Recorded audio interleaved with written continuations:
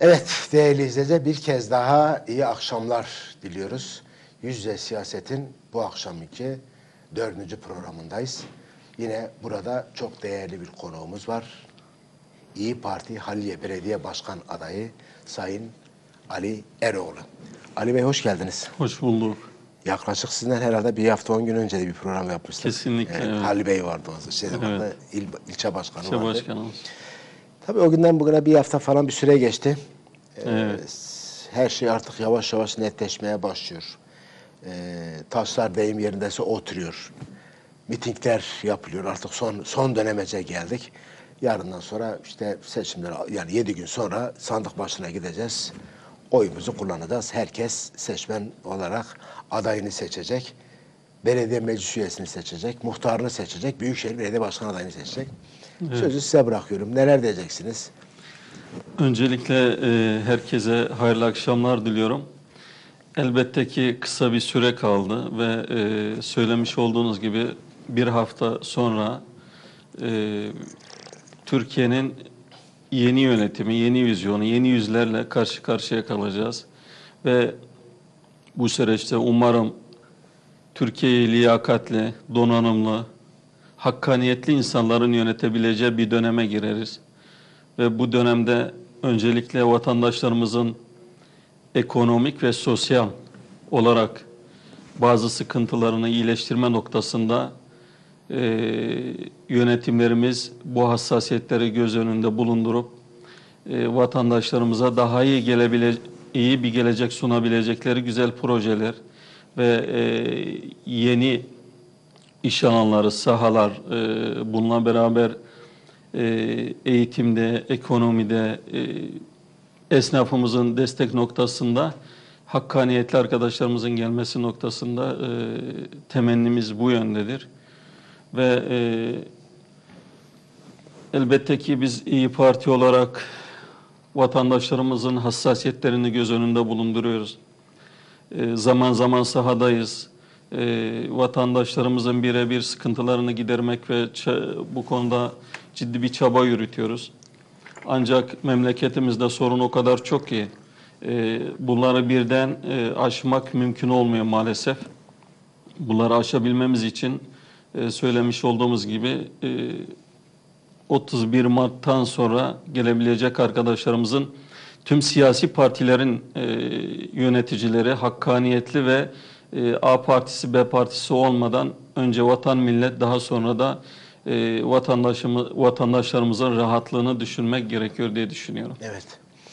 Peki diğer programlarda da sohbetimiz, muhabbetimiz olmuştu Evet. ama e, projelere çok girememiştik çünkü zaman kısıtlıydı. Evet. İsterseniz bu programda biraz da projelerinizi konuşalım, hedeflerinizi, çalışmalarınızı, süreç nasıl işliyor onları konuşalım. İstersen projelerinizden başlayalım.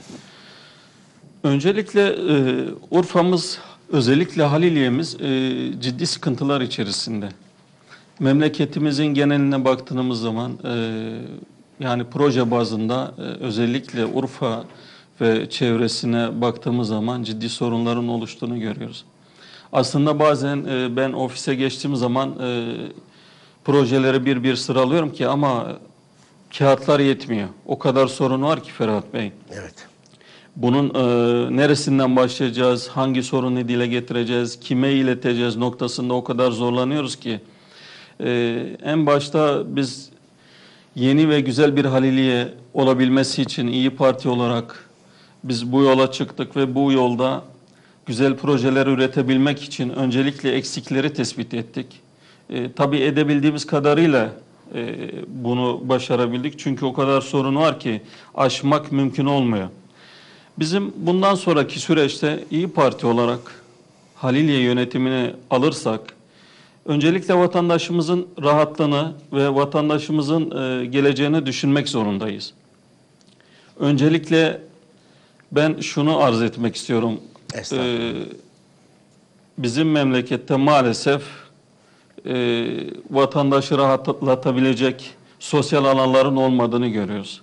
Vatandaşlarımızın rahatlıkla geçirebilecekleri güzel alanların veya sosyal tesislerin olmadığını görüyoruz. Bir iki tane var ancak o bir iki tanesi maalesef Urfa'ya yetecek e, düzeyde değil. ve hem e, hizmet kapasitesine bakarsak hem de e, şehrimizin büyüklüğüne baktığımız zaman kesinlikle yetersizdir. E, bizim sorunlarımızdan birisi de e, öncelikle istidam noktasında belediyelerimizin bu konuda e, çok geride kaldığını, özellikle Haliliye ilçemizde vatandaşlarımızın birçoğu işsiz, birçoğu ne yapacağını bilmiyor, birçoğu sorun e, çözüm noktası veya e, sorunları iletebilecekleri muhatapları bulunamıyor. Bulunsa bile sorun çözülemiyor. E, bizler öncelikle vatandaşlarımızın eğer ki Rabbim e, nasip ederse e, Haliliye yönetimine e, 31 Mart'tan sonra alırsak İyi Parti olarak e, öncelikle biz e, vatandaşlarımızın e, ekmek sorununu çözmek istiyoruz. Çünkü biz e, geçen e, gezilerimizde vatandaşlarımızla bir araya gelirken özellikle fırıncıların bu konuda çok ciddi şikayetleri olduğunu gördük. Fırıncının mı şikayeti var? Fırıncının şikayeti var. Yani fırıncı ekmeğini üretiyor fakat fırıncının karşısında halk ekmek açılmış. Vatandaş gidip orada halk ekmeğini alıyor. Örnek gramajı düşük, düşük ekmek alıyor. Fakat fırıncı gramajı yüksek bir örnek 500 gramlık bir ekmeği satamıyor. Biz e, bu noktada fırıncılarımızla oturup istişare ettik. Ve fırıncılarımızla e, neler yapabiliriz, neler edebiliriz noktasında istişarelerimiz sonucunda e, oradaki fırıncı arkadaşlarımıza ekmek üreten fabrikalarla beraber bir arada gelirken şöyle bir yol izlemeye karar aldık. E, biz oradaki fırıncı arkadaşlarımızın veya ekmek fabrikası üreticilerine destek anlamında bir proje sunduk. Bu proje e, vatandaşlarımızın oradaki üreticinin yükünü hafifleterek, yükünü hafifleterek hem vatandaşımızı mağdur etmeyecek şekilde hem de üreticimizi mağdur etmeyecek şekilde ortak bir noktada buluştuk. Ve e, biz bu noktada hem e, vatandaşımıza daha ucuz ekmek sunabilmek ve e, üreticimizin böylelikle de iş yeri ve çalışanları bu konuda mağdur edilmemesi için e, biz bunu ele aldık ve inşallah e, ilk sorunlardan birisi de bunu çözmüş olacağız. E, hem fırıncı arkadaşlarımıza destek olacağız hem vatandaşımıza daha düşük maliyetli ekmek e, satışı yapılması noktasında fırıncılarımızla ortak bir proje yürüttük. Yürütmeye de devam edeceğiz. Bir başka sorunumuz e, Ferhat Bey, e, Haliliye içerisinde bizim sosyal alanlarımızda az önce bahsettiğimiz gibi. Şimdi e, birçok vatandaşımız eğitim durumundan dolayı iş bulamıyor. Yani lise mezunudur. Özellikle ev hanımları. Evde kalan hanımlara yönelik e, gerçekten biz e, dün ben WhatsApp hattıma birçok e, yazı geldi. Özellikle onunla ilgili vatandaşlarımızın mağduriyeti e, dile getirildi ve biz bu noktada iki gündür, üç gündür bu çalışmalar üzerinde yürütüyoruz. Bu çalışmalara işte oradaki Halilye bünyesinde barınan vatandaşlarımız, hanımefendi kardeşlerimiz e, veya e, işte eğitim durumu düşük, iş bulamayan insanlara yönelik sosyal alanlarda çalışma imkanı sunmak ve böyle alanlarda kendilerine proje geliştirebilmemiz için e, var gücümüzle çalışmaya devam edeceğiz. Fakat e, şu var. Biz bunları yaparken mutlak surette vatandaşlarımızla ara ara istişare edeceğiz. Bizim öyle bir e, projemiz var ki Ferhat Bey, HİK, Haliliye İstişare Kurulu'nu kurmak istiyoruz. Ve biz aylık bazında vatandaşlarımıza bir araya gelerek e, oradaki Haliliye İstişare Kurulu'nda en çok da hanımların yer alabileceği e, bir alan oluşturup ve oradaki sorunları dile getirme noktasında, e, muhatap bulma noktasında bizlerle istişare edecek, e, bu sorunları takip edecek ve yürütecek arkadaşlarımızı bu istişare kuruluna alarak ev ev, mahalle mahalle dolaşacak ve oradaki Haliliye'deki vatandaşlarımızın mağduriyetini bizlere tespit edecek. Bu hanımefendi olabilir, beyefendi olabilir, yaşlısı olabilir.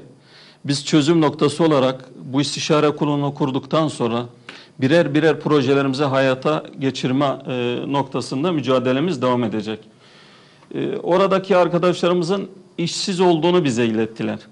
Biz bu e, istişare kurulu ile beraber hem iş alanlarını çoğaltacağız, hem e, farklı lokasyonlarda insanlarımızla e, barınabilecekleri, oturabilecekleri, zaman geçirebilecekleri ve işsiz kardeşlerimizin, işsiz kız kardeşlerimizin, bacılarımızın istidama noktasında o lokasyon bölgesinde kendilerine iş alanı yaratmak istiyoruz açıkçası. Bu e, bir, bir diğer projemiz. Şimdi bizim en önemli projelerimizden birisi de e, üniversite okumak isteyen e, genç kardeşlerimize yönelik. Genç kardeşlerimizin maalesef bugünkü okul kaygısını giderebilmek için biz belediye olarak bu tür sorunları ele almak ve bu sorunların üstesine gelebilmek için oradaki hem anne babanın yükünü hafifletmek adına hem vatandaşımızın daha iyi ve sağlıklı bir eğitim alabilmesi noktasında e, Haliliye e, bölgesindeki barınan tüm vatandaşlarımıza yönelik maddi destek maddi destek sunacağız. Burslu ve masrafları karşılama noktasında kendilerine yardımcı olacağız. E, ve bu tür burslardan faydalanmalarını noktasında e, kendileriyle ara ara istişare ederek e, oradaki vatandaşlarımızın e, sağlıklı bir eğitim alabilmeleri ve e, söylemiş olduğum gibi anne baba yükünü hafifletmek adına e, bu projemizi yürütmüş olacağız. Ücretsiz eğitim materyalleri üniversiteye gitmek isteyen öğrencilerin ücretsiz ders kitapları, notları ve diğer materyaller temin edilebilecek bir nokta oluşturacağız. Ve biz bu Halilye Belediyesi bünyesinde oluşabilecek e, çözüm noktasını genç kardeşlerimizle paylaşıp e, söylemiş olduğum gibi desteği sağlamış olacağız kendilerine. Tabii ki bu okulu bitirdikten sonra Halilye bünyesinde bizler ne- neler yapabiliriz bu genç kardeşlerimize, neler üretebiliriz? Şimdi bizim temel hedefimiz üreten bir belediye olmak istiyoruz. Tüketen belediye değil. Şimdi e, nüfus bakımında ciddi bir nüfusa sahip bir bölge ve ilçemiz Halilye aynı zamanda. Devlet e, kaynakları açısından da ciddi bir kaynak aktarılıyor Halilye'ye. Fakat e, bunlara ikisiyle birleşmediği zaman orada bir güç kaybına gidiyorsunuz. Biz o güç kaybını önlemek ve onun önüne geçebilmemiz için de elbette ki e, vatandaşlarımızla işte orada e, barınan her bireyle e, istişareler halinde olarak güzel projeler üreteceğiz. Şimdi biz üreten belediye hedefimizde en başta sera üretimine ağırlık vereceğiz. Ee, sera üretiminde genç kardeşlerimizin işte öz- öncelikle okumak isteyen ve e, durumu olmayan e, kardeşlerimize biz orada destek sunacağız ve e, okulu bitirdikten sonra kendilerine iş imkanı sağlamak adına e, projelerimiz her zaman e, en e, başarılı projelerimizden birileri de sera projesi olacak hem vatandaşımızın e, Halilye Beni- e, Belediyesi bünyesinde barınan tüm vatandaşlarımıza ucuz ürün, sağlıklı ürün ve e, hızlı bir şekilde vatandaşlarımızla pazara sunabileceğimiz e, taptaze ürünler sunmak istiyoruz. Tabii ki bunun e, ilk etabı eğitim. Güzel bir eğitimle gençlerimizi yetiştirirsek e, Ferhat Bey inanın bu şehirde başaramayacağımız hiçbir şey yok. Evet. Şimdi şöyle bir şey var. Ee, siyasiler çıkıyor söylem söylem söylem. Biz artık söylemden bıkmış bir milletiz. İcraat. İcraat istiyoruz. Biz üreten bir belediye istiyoruz. Üret, üretici arkadaşların görev başına gelmesini istiyoruz.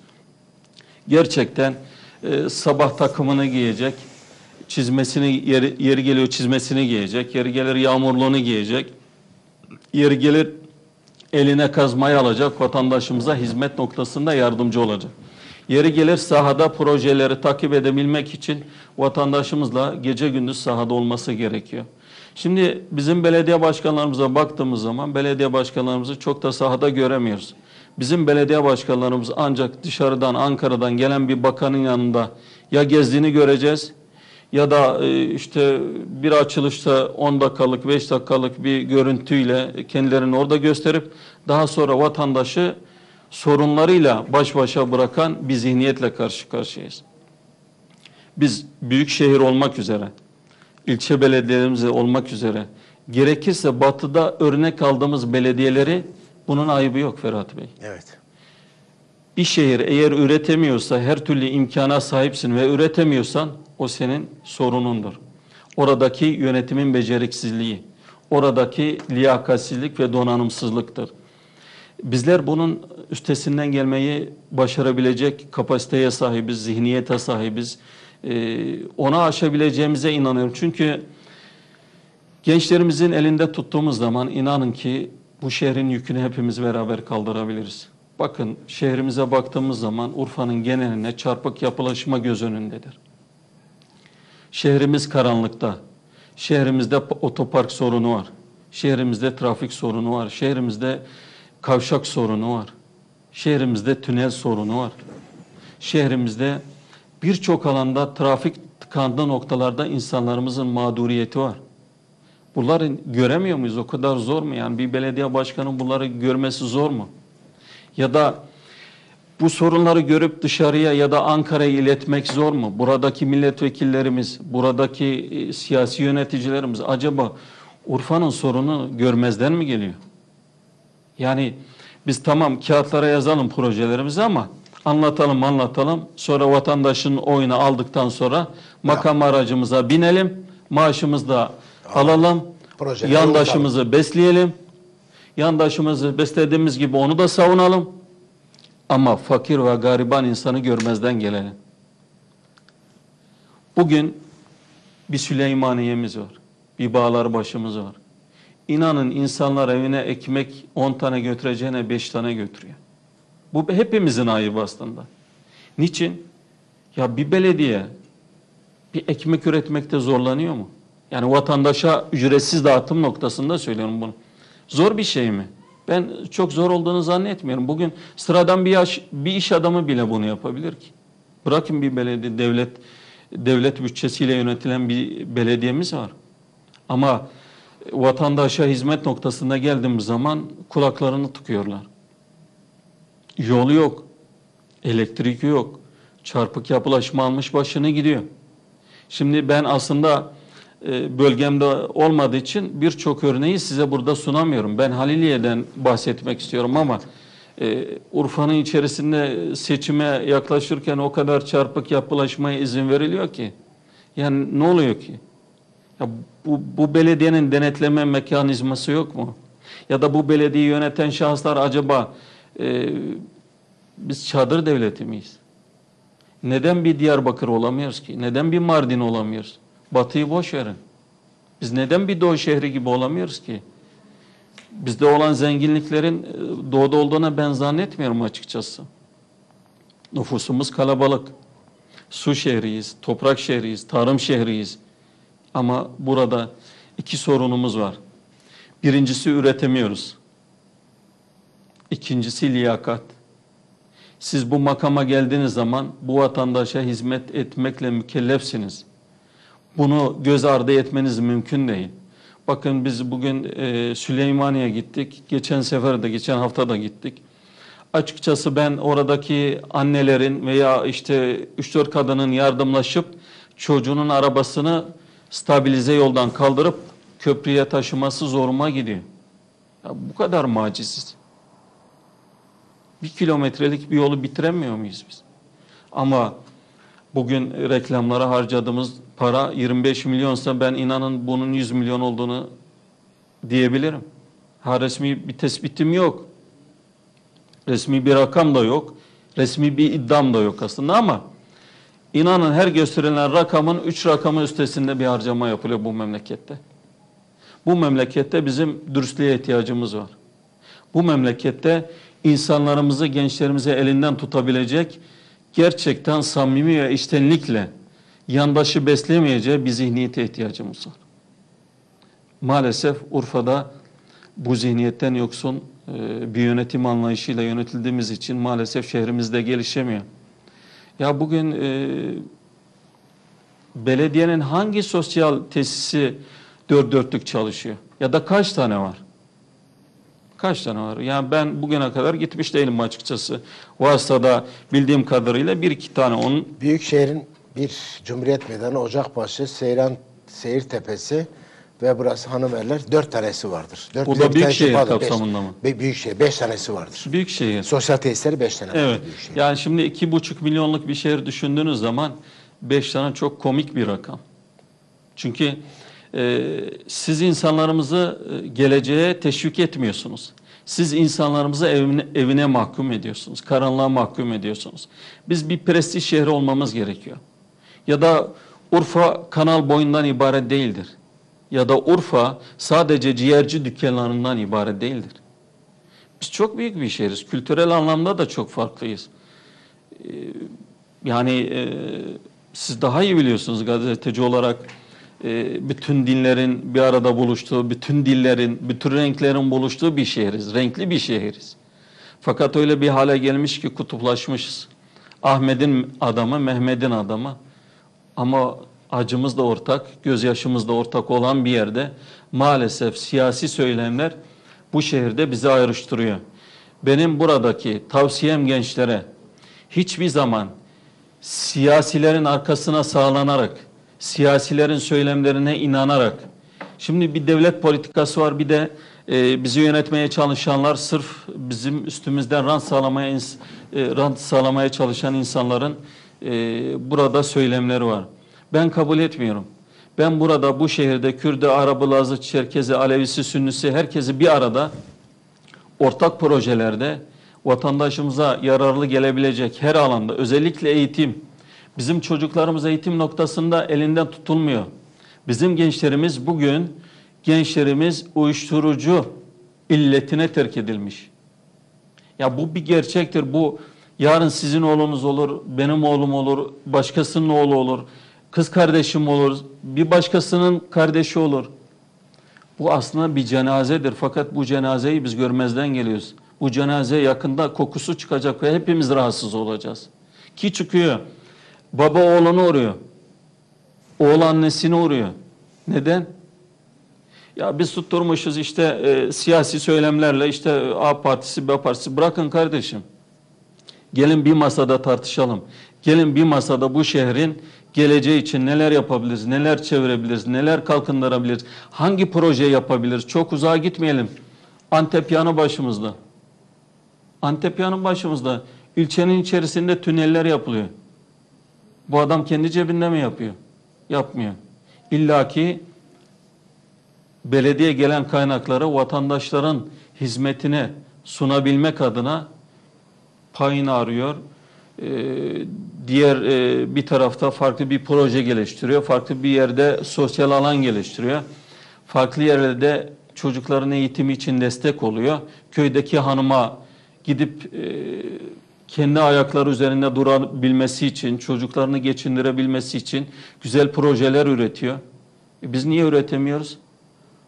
Ve ben bu bağlamda şunu söylüyorum.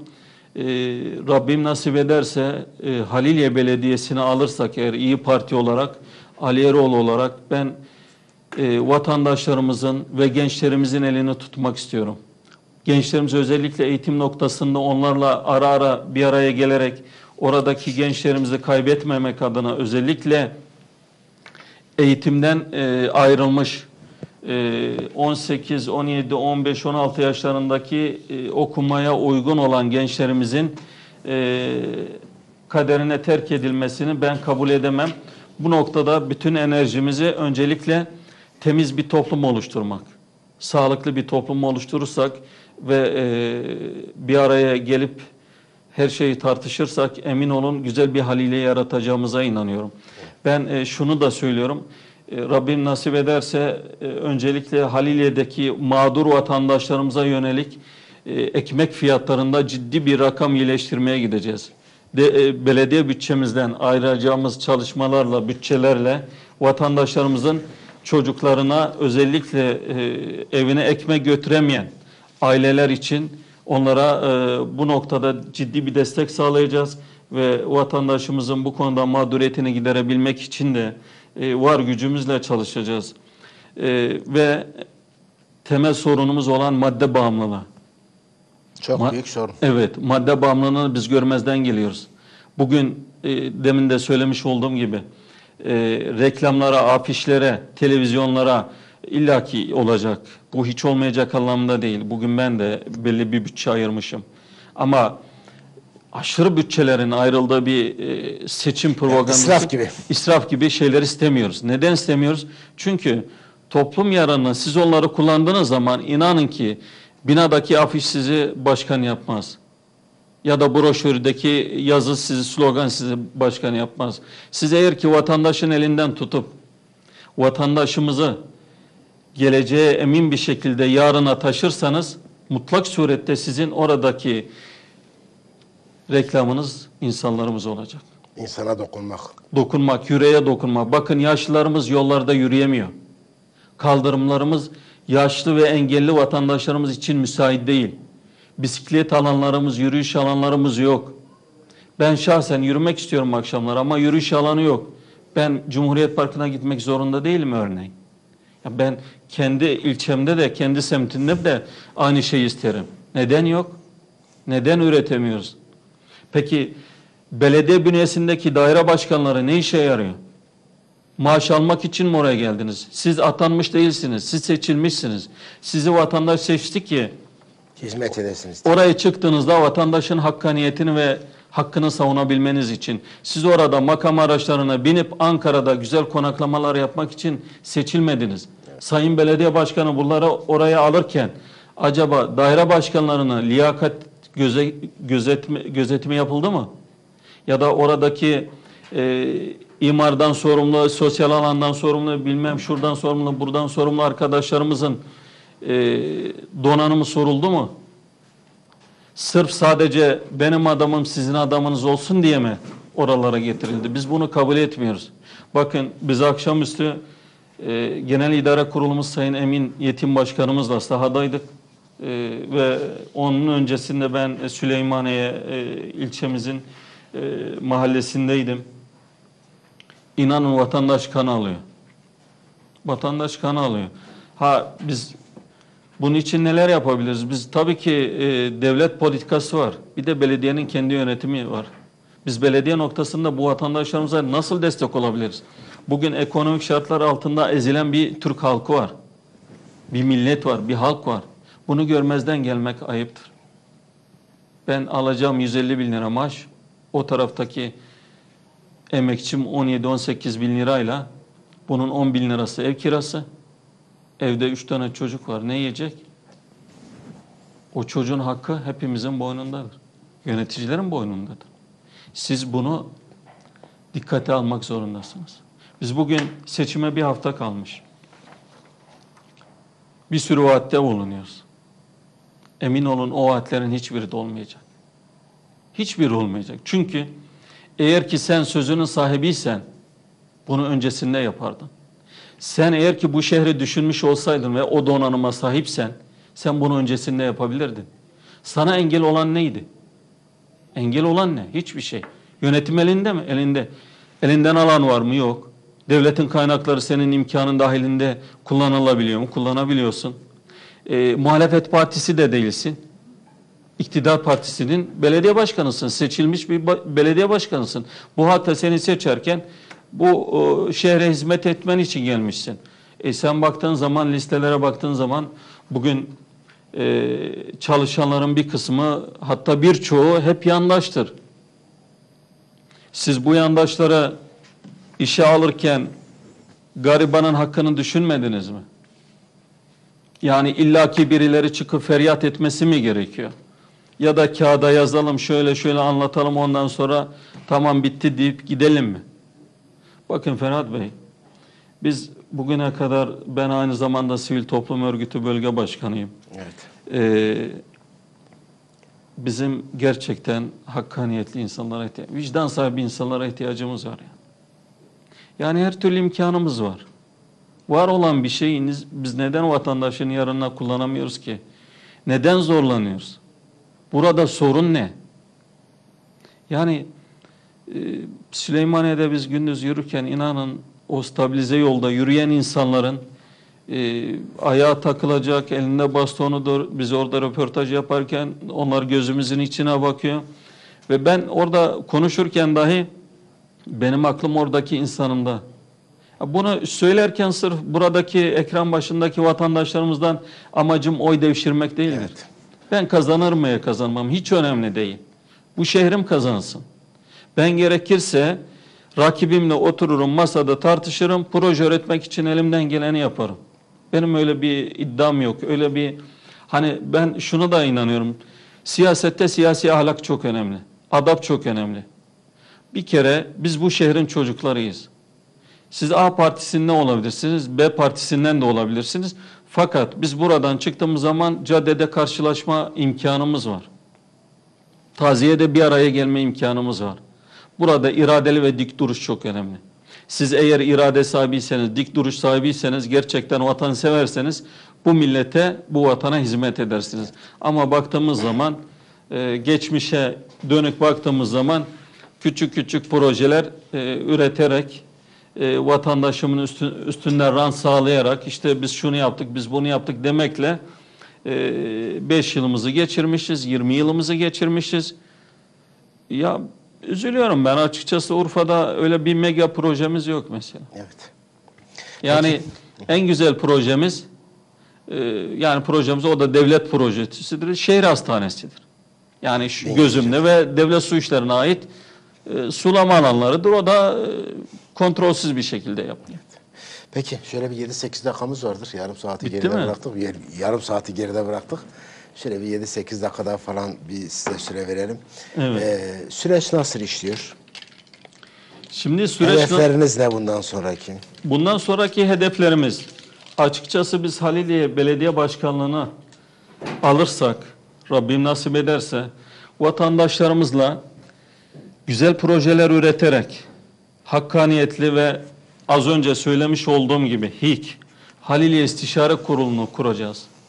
Haliliye İstişare Kurulu tüm vatandaşlarımızın sorunlarını dinleyebilecek kapasitede donanımlı arkadaşlarımızdan oluşacak.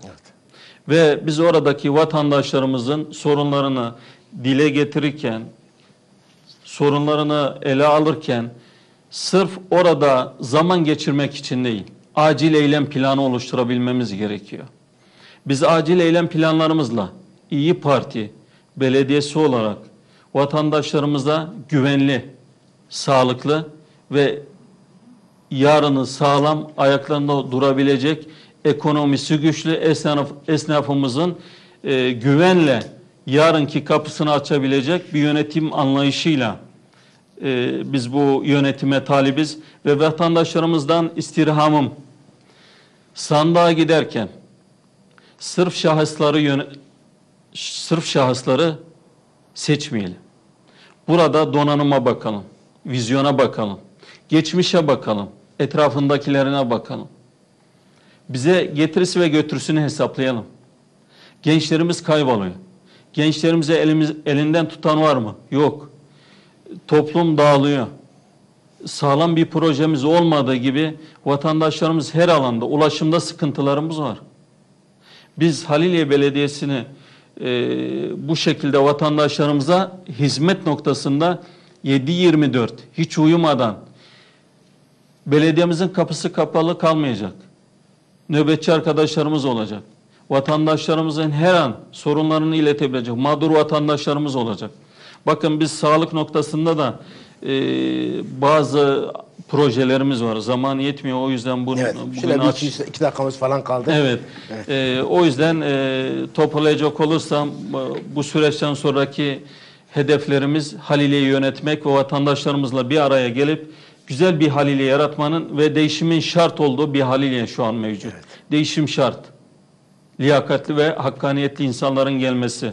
Ben bu bağlamda herkese çok teşekkür ediyorum.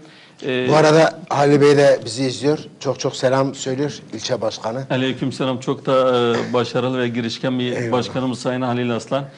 Ben e, sizin aracılığınızla e, bu süreçte bizlere destek olan başta Genel İdare Kurulumuz Sayın Emin Yetim, e, İl Başkanımız Ali Arusoğlu, İl Kadın Konuları Başkanımız Tuğba Hanım, İlçe Başkanım Sayın Halil Aslan, Meclis Üyem, Üye adaylarım Leyla Bucak Hanımefendi, Emel Sevim, Mehmet Yıldırım, Abdülkadir Çulu ve Mehmet Aslantaş olmak üzere tüm teşkilatlarıma ve e, bizi destekleyen, ekranları başında bizi destekleyen vatandaşlarımıza şükranlarımı sunuyorum. Hayırlı Ramazanlar diliyorum.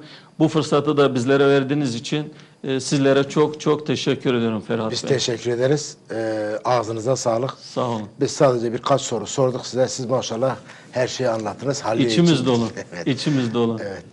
İnşallah başka yayında buluşuruz. Burada artık süreç, süreç, süreç de daraldı bayağı. Çok sağ olun. Başarılar dileriz. Allah Burada en yardımcınız olsun. önemli nokta sizi tanımak oldu. Bu Eyvallah. kadar tevazu ve mütevazi bir Rica ederim. abimiz oldu. Ee, bir evimiz daha oldu diye. Eyvallah. O da sizin güzelliğiniz. Sağ Çok olun. teşekkür Çok ederim. sağ olun. Teşekkür ederim. Evet değerli izleyiciler eee yüzde siyasetin sonuna geldik. Yayında yap ve yapımda emeği geçen tüm arkadaşlarım adına hoşça kalın diyorum.